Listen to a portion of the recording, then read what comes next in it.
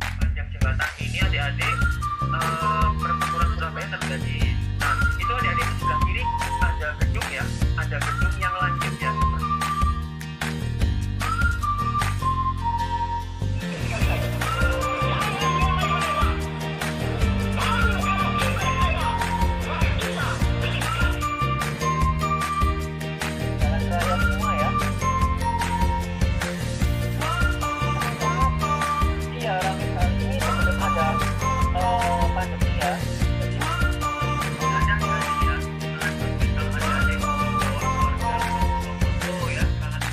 Gracias.